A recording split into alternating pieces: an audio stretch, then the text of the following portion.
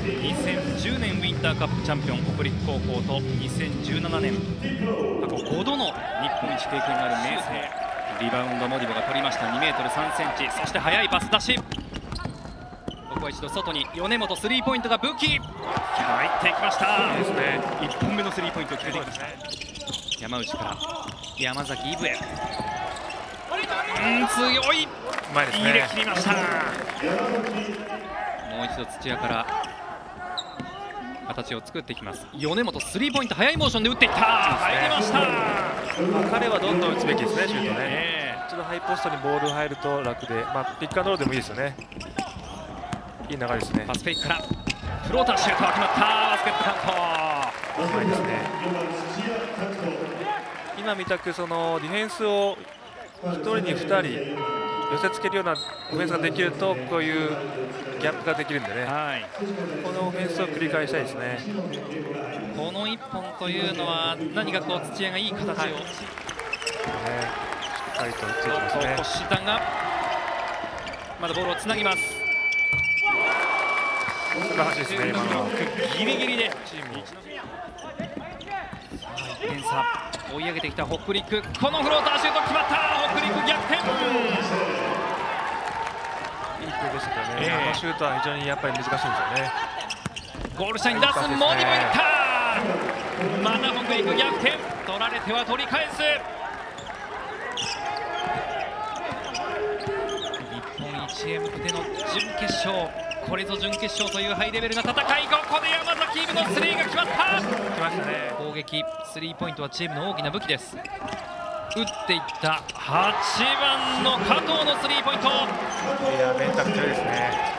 北陸逆転加藤も決めたスリーポイント。しかしすぐさま行くか山崎イブ。モディボがリバウンドを抑えました。守りましたね。そして土屋にボールを渡す。この1本大事ですね。北陸リードスリーポイント。これが決まった5番小川のスリーポイント。小川今日3本目。アウトサイドからのスリーポイントが決まりだす。これが北陸のペース。そしてスティールした。小川が行く。ここはアンスポーツマンライクファウル取られました。7番このプレー大事ですね。速いパス回しから山崎イブがこの距離でのスリー決まった！このプレー大きいですね。ディープスリーポイント距離がある中で山崎イブ。さすがのシュートタッチを見せました。そして山内ジャヘル。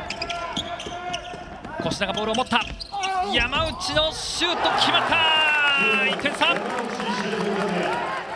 チームとも大きな声を出していきます。山崎ノリとのシュートは決まらない。しかしゴールしたここで笛が鳴りました。スローですね。ええ。明星逆転。この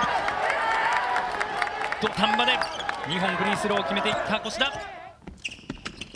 決まった。これで2点リード明星さあ残り。スリーポイントをどうするかですね。残り5秒。最後の勝負にかけるか。外からキャプテン